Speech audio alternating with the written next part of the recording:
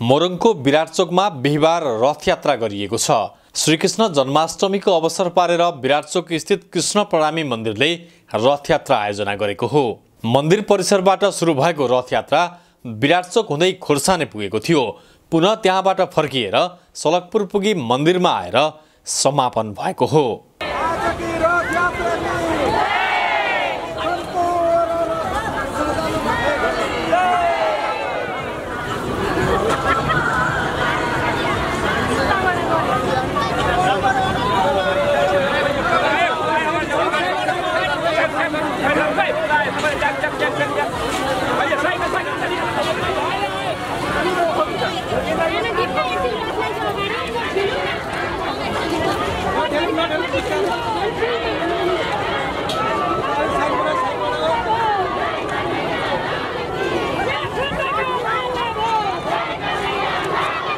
रथयात्रामा सुन्दर रैजाका विभिन्न मन्दिरका रथहरू पनि सहभागी भएका थिए।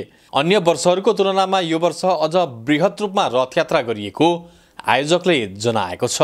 पहिला चाहिँ अब सामान्य सुन्दर साथहरू प्रणामी समुदायहरूले मात्रै चलाउँथे भनेदेखि अहिले सबै मठ मन्दिरहरूदेखि लिएर अब यो चाहिँ के अरे हाम्रो हाम्रो संस्थाले प्रतिनिधित्व गरेर यो भव्य रथहरू रथ चाहिँ आज यात्रा यो चाहिँ के अरे यात्रा भएको छ।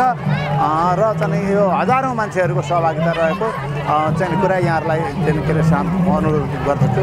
नौमती बाजासहित निकालिएको रथयात्रामा विभिन्न जातीय झाँकीहरू पनि प्रदर्शन गरिएको थियो।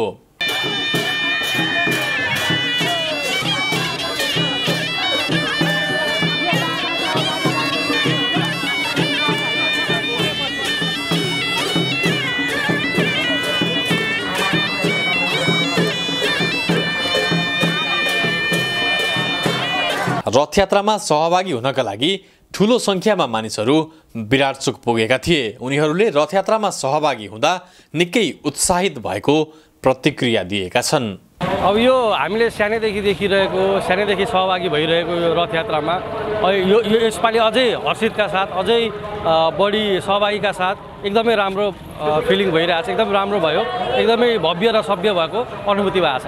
भगवान् श्री कृष्णको सबै विश्वलाई कल्याणका लागि प्रकट भएको दिन हामी सबै त्यही आस्था र विश्वासमा रहेका हुनाले आज हामीलाई कुनै घाम पानीको केही महत्त्व पनि हामीले केही राखेन र भगवान्को कृपाले आजको समय मौसम पनि धेरै आनन्दित भयो र धेरै भक्तजनहरूको सहभागितामा भगवान् श्री कृष्णको रथयात्रा लिएर हिँड्दा हामी अति आत्मविभोर भएका छौँ। सबैको सद्भाव एकदम हर्ष उल्लासका साथ आजको यो रथ यात्रा सम्पन्न हुन लागिरहेको छ र सम्पूर्ण अरू अरू सङ्घ संस्थाहरूले पनि यसमा ऐक्यबद्धता जनाएर हामीलाई ठुलो सहयोग पुर्याउनु भएको छ।